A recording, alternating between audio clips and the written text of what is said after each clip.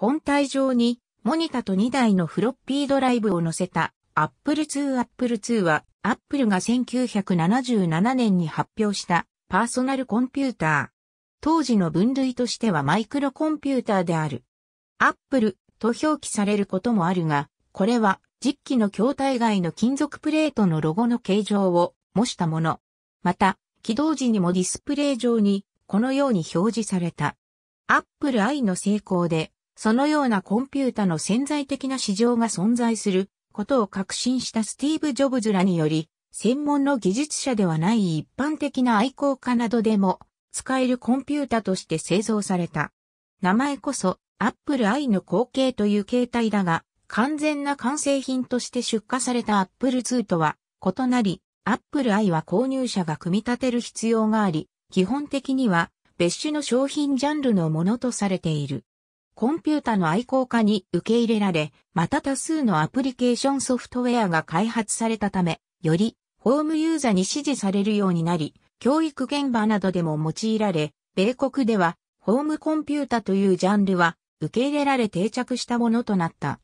Apple II の大成功は、フロッピーディスクドライブであるディスキーが極めて早い段階で非常に安価に提供されたことが、その要因の一つであり、普及におけるキラーアプリケーションとなった表計算ソフト、ビザッカルックもディスクベースで発売された。米国ではサラリーマンであっても確定申告が必須なため、会計事務所だけではなく一般のユーザーにも受け入れられた。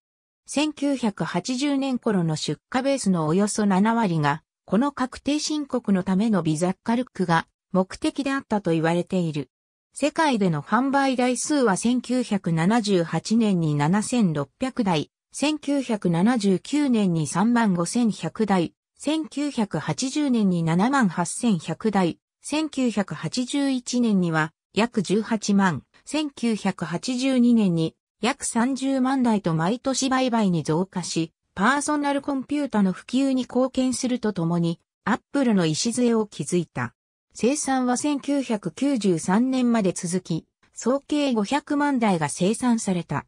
日本への輸出台数は1979年の1年間に約5200台。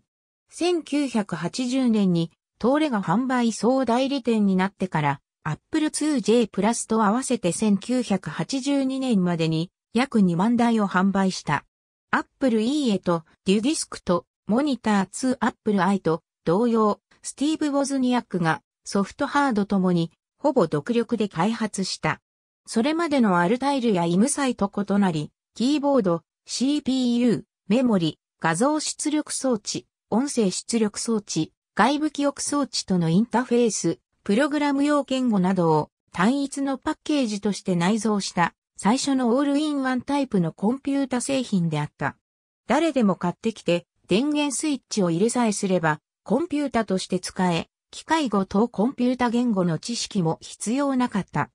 現在のパーソナルコンピュータの要素が初めて単一のパッケージとして集約された原型の一つと言ってよいだろ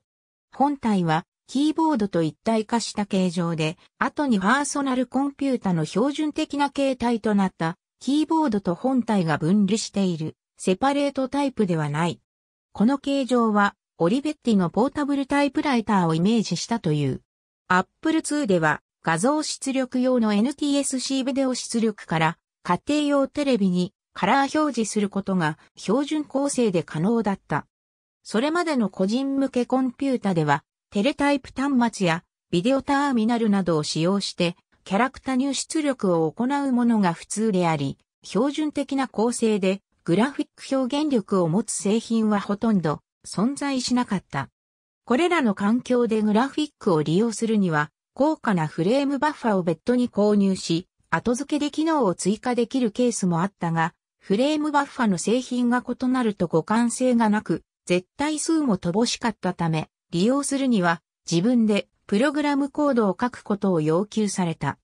標準でグラフィック表示が可能な Apple 数の登場は、当時のテレビゲームファンを引きつけ、また、ゲーム I、O という2つの A、D コンバータを備えた入力端子が1系統、標準で実装されており、これを利用してゲームパドルやジョイスティックを簡単に接続できたこともあって、多くのゲームが Apple 通常で開発された。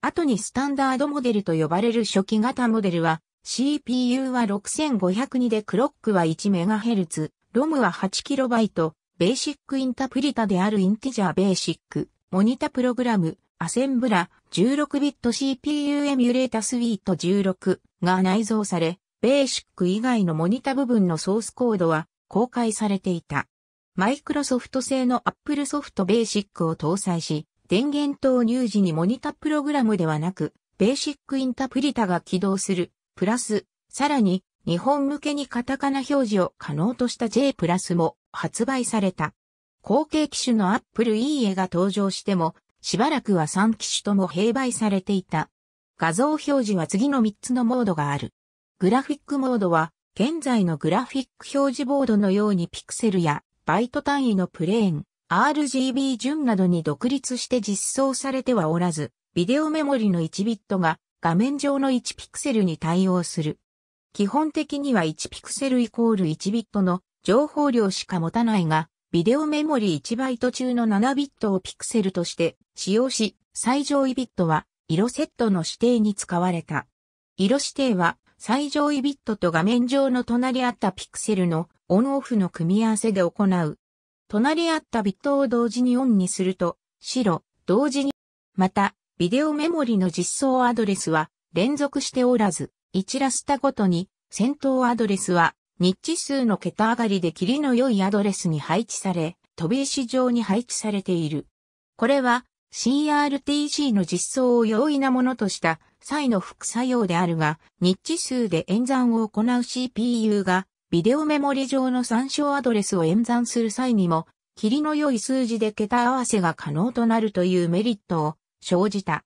なお、ビデオメモリが1バイトあたり7ピクセルとなっているのは、本体のマスタークロックである 14MHz の文集に処理を合わせるためで4色しか表示できない初期モデルでは色指定用のビットは未使用ビットとなっていた。オンオフ低解像度グラフィック、高解像度グラフィックにおいては画面の下4行のみをテキストモードとして表示することもできた。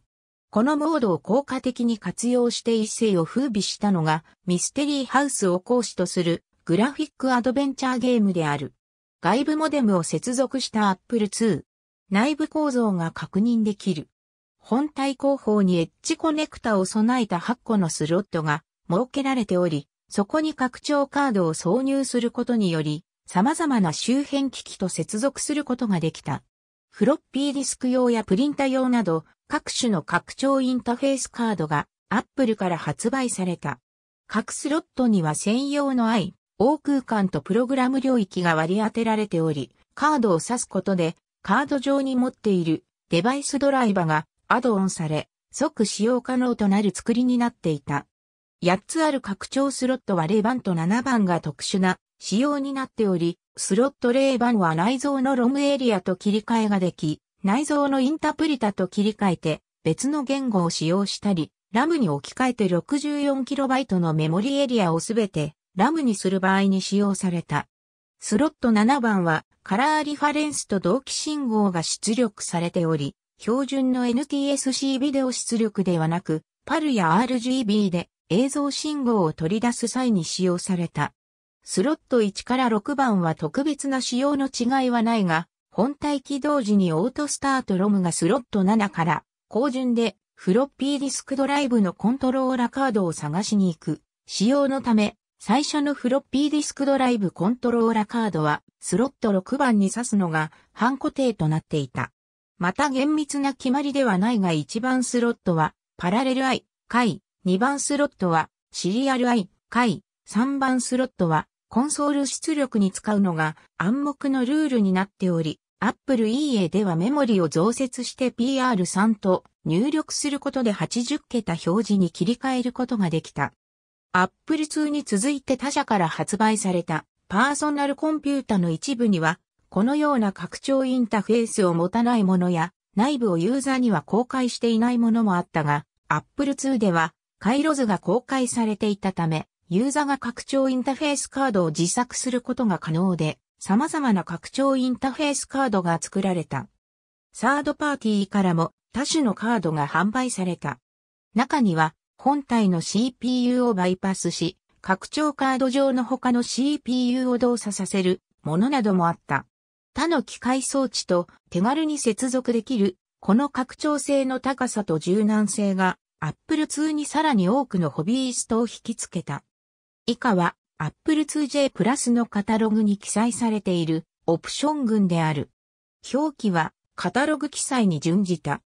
ユーザーに支持された Apple II は Apple II プラス、Apple IIe、Apple IIc、アップル EX などの後継機種を生み出すに至ったが、アップルは必ずしもこれを好ましく思わず、後にビジネス向けに開発される Apple 3に尽力するようになるが、Apple 3は失敗し、3億ドルの損失が出たと言われる。Apple 2といえば、本体とキーボードが一体化した姿が代表的であるが、Apple EX は本体とキーボードが分離しており、また見た目も Apple II シリーズよりはマッキントッシュシリーズに似ている。Apple II GS Apple E 以降の Apple II のキーボードには Apple マークが表示された Apple キーという就職キーがある。また、マッキントッシュ用のキーボードにはコマンドキーという就職キーがある。このコマンドキーはコマンド CMD のような文字表示はなく、アップルマークと四つ葉のクローバー2のコマンドマークが並んでいる珍しい表示になっている。このようになった理由は以下のようなものである。マッキントッシュの第2世代に位置づけられるマッキントッシュ SE 及びマッキントッシュ2ではキーボードがアップルデスクトップバスで接続できるよう仕様変更された。これに先立ち Apple 2GS におけるキーボードの接続にも ADB が採用されていたため、マッキントッシュと Apple 2で共通のキーボードが利用できるようになった。そこで Apple 2GS 使用時には Apple キー、マッキントッシュ使用時にはコマンドキーとして両ユーザが判別できるよう二つのマークが併記されることになったのである。この当時、マッキントッシュではキーボードが本体に付属しておらず、別途1万6000円ほどの Apple キーボードを購入する必要があったが、マッキントッシュユーザーの間では Apple 2GS に付属するキーボードの評判が高く、中古の Apple 2GS キーボードを買い求める人が少なくなかった。中古市場においては Apple 2GS 用キーボードが欠品する現象も発生した。後にマッキントッシュクラシックが登場した際、専用のキーボードは Apple Keyboard 2という廉価な製品に置き換えられたが、この時もキーボードにこだわりを持つユーザ層は前モデルの Apple Keyboard や Apple 2GS 付属キーボードを探し歩くこととなった。マッキントッシュユーザーの間ではコマンドキーのことを Apple キーと呼ぶことも多い。しかし、Apple キーとはあくまで Apple 2の就職キーの名称であり、マッキントッシュの就職キーを指す名称ではない。なお、二つのマークを並べる表示は、近年のマッキントッシュシリーズのキーボードにも伝統的に継続されていた。しかし、2007年8月に販売開始された Apple キーボードにおいて、ついに Apple マークの表示が廃止されることになった。コマンドマークとコマンドの併記となった変更は、Apple 2からの経緯を知る一部の古参ユーザーの間で物議を醸した。Apple 2は多数の互換機も出現したが、大半は知的財産権的に問題があり消滅した。しかし当時もクリーンルーム設計で問題を回避したレーザー128のような機種もあった。同機は日本の秋葉原でも見られた。ありがとうございます。